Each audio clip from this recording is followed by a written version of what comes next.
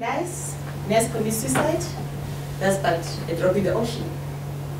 What happens when a patient has got an adverse event in this hospital? A team of experts walk in, storm in like a swarm of bees. What happened? Who done what?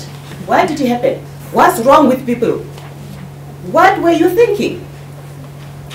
The researcher aims to explore and describe the experiences of these nurses so that recommendations can be made regarding these recommendations, regarding the, the experiences. Purposeful sampled participants, which were 18 nurses all in all, were interviewed. And this is what came up. I was shaken. I was so depressed. I was humiliated.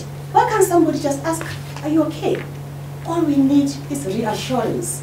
I did not leave my house to come and kill someone. So what? All we need is reassurance. Are you okay? And all we need is support. The hospital has really let us down. And we're going to get to the bottom of this. Because at the end of it, patient safety needs to be everybody's priority, isn't it? At the end of it all, I want to be nursed by someone who is okay, motivated, knows why they are in the hospital, and at the end of it all, we all need to ensure that our nurses are safe, and so our patients are safe. With that in mind, I thank you.